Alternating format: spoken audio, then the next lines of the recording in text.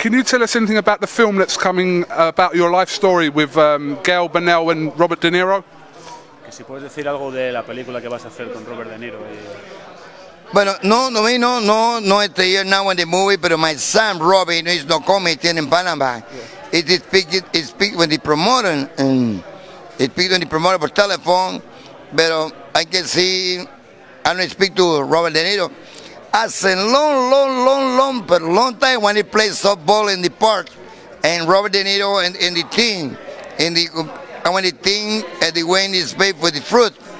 I mean, when, when Robert De Niro come, come, come to any star, Dice que cuando Robert De Niro jugó conmigo béisbol, softball en el parque de Nueva York, When- él vino Rob- con todos los artistas de, de la película Cazador de Venado. When uh, Robert De Niro uh, he came to the to the Central Park to play uh, with all his friends. Softball. Yeah, to play uh, softball. Yeah. Y, y I'm really surprised for me because he's coming from all star when he played to me. And he was For the people, when the, when the, when the people my training, when the, the people the street.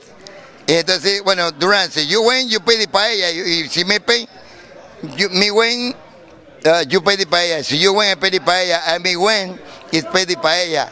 Este era, dile que habían, it's a lot, a lot of star, but no remember now the lot star now. Come on, mamey.